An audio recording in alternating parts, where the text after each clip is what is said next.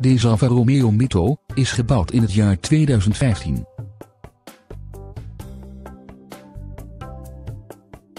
De Alfa Romeo heeft een bijzonder laag brandstofverbruik en wordt geleverd met de bijbehorende onderhoudsboekjes.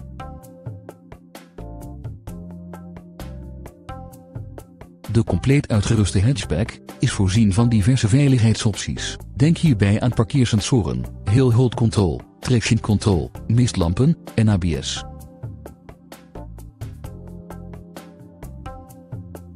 De benzinemotor met milieuvriendelijk stop-and-go systeem wordt bediend met een handgeschakelde transmissie met zes versnellingen.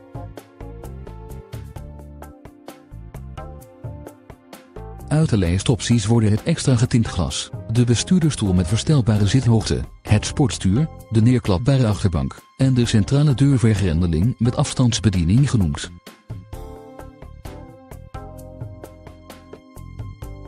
De uitrusting bestaat verder onder meer uit een navigatiesysteem, cruise control, airconditioning, elektrisch verstelbare en verwarmbare buitenspiegel links en elektrisch bedienbare ramen.